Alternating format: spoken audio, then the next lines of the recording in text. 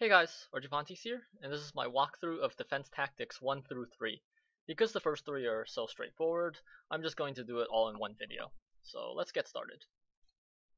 Defense Tactics 1 is a fairly simple puzzle. You start with a Tarsier, and you just slowly whittle away at your opponent's Tarsier supply. It teaches you the basics of Absorb.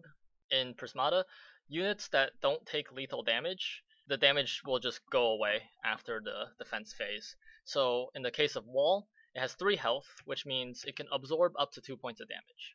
So if we lose our force field, we can put 2 points of damage on the wall, and then after defense is over, the damage just goes away. So those 2 points essentially are wasted by our opponent.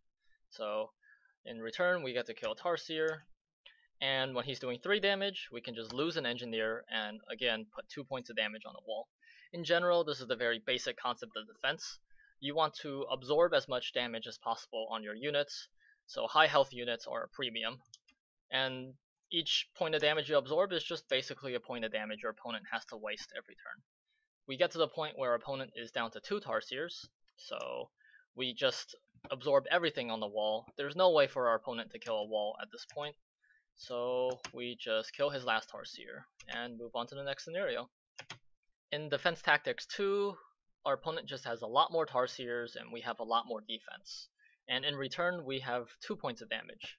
So things get a little bit more explosive, but not by too much. Our opponent is attacking for 7 points of damage, so we can just lose 2 engineers, a wall, and then once again absorb the remaining 2 damage on a wall. So once again, we're getting maximum amount of absorb which allows us to survive for as long as possible. And in this case, our opponent will be able to kill our last wall, but we have just enough damage to survive, and we win the 1 damage versus 1 damage stare off because our Tarsier fires first. So that's puzzle 2. Defense Tactics 3 is a little more interesting. Our opponent has very high HP Gauss Cannon units, and initially, of course, we will be killing his low HP Tarsiers because they do the same amount of damage as Gauss Cannon, and we want to reduce his damage as much as possible. So he will still be attacking for 4. Now normally, if you want to get maximum absorb on your walls, you would lose 2 engineers over the wall. But in this case, the engineers are actually worth more than having 2 walls.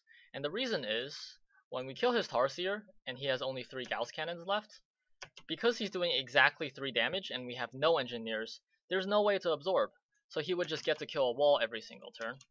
And he'd be able to kill our last wall before we're able to deal with his Gauss cannons. That's really bad. So going back to the start, the actual way to beat this mission is to get slightly less efficient absorb by just getting one absorb on the wall and uh, losing a wall over the wall. What this does though is it allows us to put our engineers one at a time over a wall. And this is kind of the strength of having low HP defensive units. They're much more flexible on defense. You don't just have to lose a whole wall every time your opponent attacks for 3 damage. And by doing this, we actually buy enough time to kill his third Gauss cannon. This leaves him with just two Gauss cannons, which is insufficient to actually break through the wall. And we will slowly whittle away at our opponent until finally we kill his last Gauss Cannon. And that's the end of Defense Tactics 3. I'll see you guys tomorrow for the next video.